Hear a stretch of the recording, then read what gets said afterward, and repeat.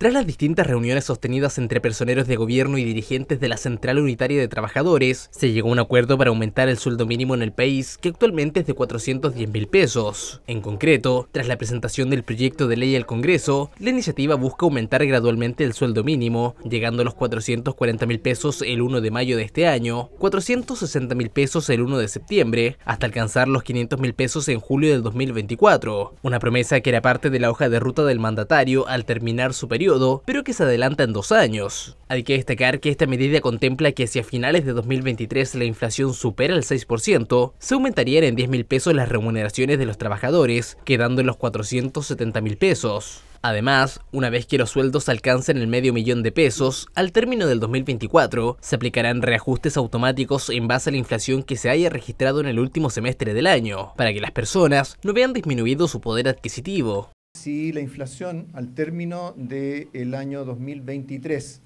eh, superara el 6%, entonces se eh, adelantará 10 eh, mil pesos del incremento del ingreso mínimo a enero del 2024.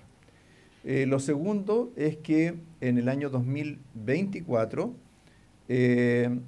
al término del año, se, sobre la base de la inflación, que se haya producido, el ingreso mínimo de 500 mil pesos se va a incrementar automáticamente al primero de enero del año eh, siguiente por la variación que haya tenido la inflación entre eh, julio y diciembre de ese año. Un acuerdo que fue valorado por la Central Unitaria de Trabajadores, quienes afirman que esta es una medida que viene a entregarle un respiro a las familias que se han visto afectadas por las constantes altas de precios que se han registrado en el último tiempo. Nosotros queremos valorar el acuerdo hemos logrado como trabajadores y trabajadoras poder adelantar la meta de los 500 mil pesos. Eh, meta que estaba comprometida por el gobierno, pero que eh, nosotros lo planteamos como una necesidad de poder eh, suplir la necesidad tan latente de los trabajadores y trabajadoras. Seguiremos trabajando por fortalecer el salario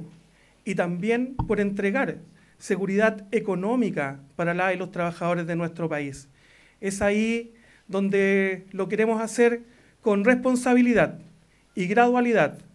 para poder cuidar y fomentar también la formalización y generar mejores empleos en nuestro país.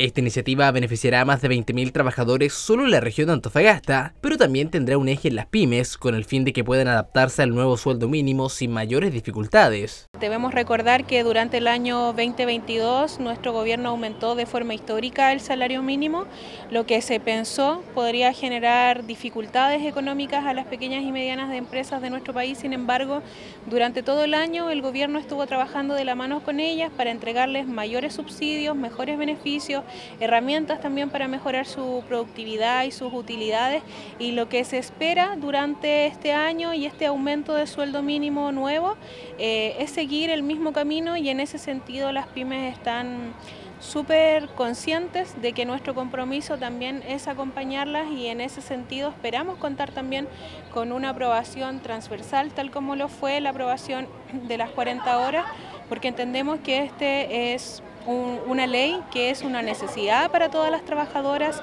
y los trabajadores de nuestro país. De esta manera, comienzan las primeras gestiones para que prontamente pueda concretarse este aumento en el sueldo mínimo de las personas, que podría reflejarse a partir del 1 de mayo del 2023. Aunque si no llegasen a concretar estas gestiones en el tiempo estipulado, las autoridades afirman que este proyecto de ley tendrá un efecto retroactivo, por lo que de igual manera recibirían este dinero.